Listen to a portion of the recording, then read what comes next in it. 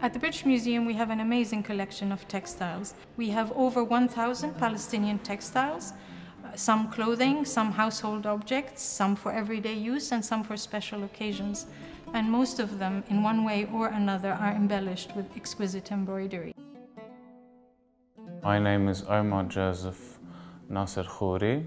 I'm an anti-fashion designer. I specialize in textiles from Palestine. I studied fashion design and technology at London College of Fashion and later uh, social anthropology with an emphasis on Palestine textiles at Goldsmiths.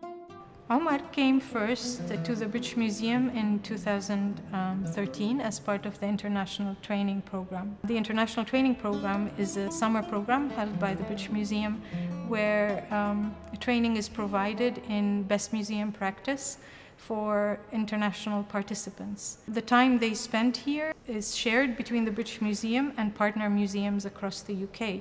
And the aim and goal of the project is to create a global network of colleagues that uh, transcends cultural and geographical boundaries.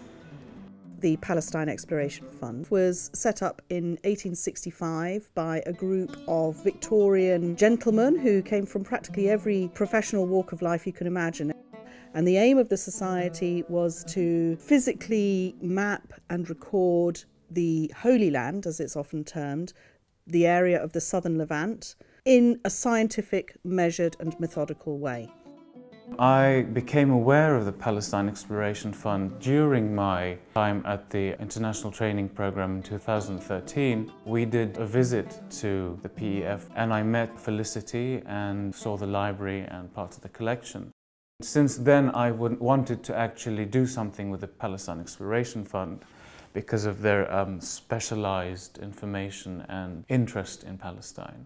As part of his uh, work here in 2013, we became aware of Omar's intense knowledge of Palestinian embroidery and of textiles. And this led to the idea of a legacy project whereby Omar could come to the British Museum and help us with our database and help us update the records for the Palestinian textiles of our 1,000 textiles, many were not photographed and many of them have incomplete information on the database. So Omar's knowledge is very handy and very useful to us. And for Omar, I think the exposure to this amazing collection of textiles has enabled him to discover new stitches and to discover new techniques of embroidery which he was not very familiar with. And so the exchange of knowledge is important both ways.